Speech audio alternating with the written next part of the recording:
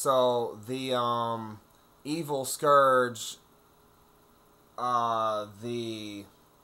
that's played by Gerard Butler, as Grant was saying, he's um, you know, you gotta get, sort of a magical evil vibe, you know, between him and the other people that are gonna be attacking across, you know, the European area of the inland sea there of the Mediterranean or not the Mediterranean is it the Mediterranean? Whatever. So like the point here is um we need an epic like conclusion so that there's like the right amount of battle. And so what I was thinking was we have like I was saying for the finale the pirate boat goes incognito mode as a giant, you know, blue whale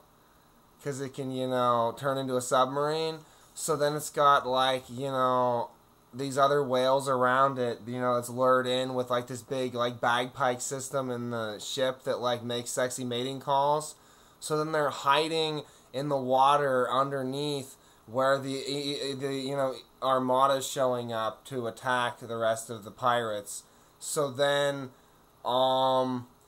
there's like these evil sharks that are like coming through and like you know checking to see if like you know anything's underwater you know they can stop their armada because like it's like you know the animals got like you know evil mojo you know. And so like these crabs are on the uh, shark sharks that go past and they like float off of the sharks and they come down and land on the the whales, you know, on the ship. One of them lands on the ship, you know, it's in disguise as whales. So then, um, you know, you got to have one of the uh,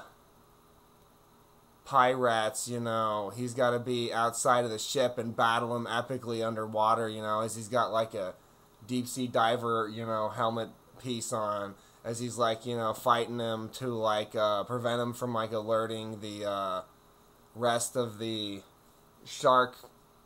circling crew that thinks it's just whales you know because they're in disguise. And uh, so then he like you know breaks the crab's crustacean shell epically you know as he's struggling with them and then the crab's all like oh and twitches and dies. So then they stay in disguise. So then the point is then um slowly uh, over a time period as the armada's coming overhead. There's these uh, burning, you know, little gas uh, rocks that are inflating bladders in the inside of the pirate ship. So then it uh, slowly starts to accelerate, and then when the armada's right above them, then it reaches full acceleration of bubbling, and then it like turns into an enormous like accelerant up out of the water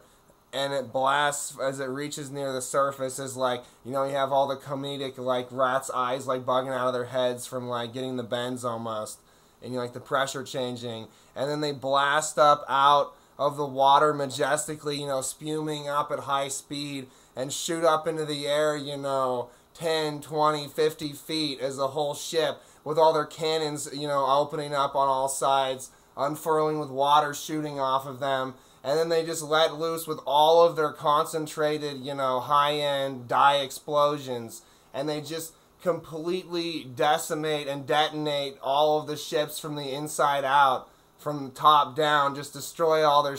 uh, sails, and then all the, you know, people and rats just come flying off of that ship epically in all directions at the same time, you know, diving at all the ships, you know, swinging off of ropes, you know,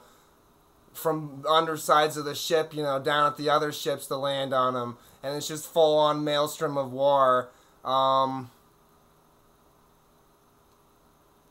we definitely need, you know, different like you know we need some like evil like canaries and stuff you know some black canaries that are like you know battling jack sparrow you know and he's got like um they're like fighting over the you know the the sails you know. They're trying to like you know destroy them and like light them on fire you know the different animals you know. Um And so, you know, it's it's a good mix because you got all the people, you know, fighting, and then you can have the whole interaction of like different animals, you know, fighting each other at the feet of other people, you know, rushing around. So then they can like have moments where they're gonna say things to each other and square off, and then somebody just kicks an animal, and he just flies and like flies off the boat. You know, you have one of those scenes for comedic relief, supposedly. Um,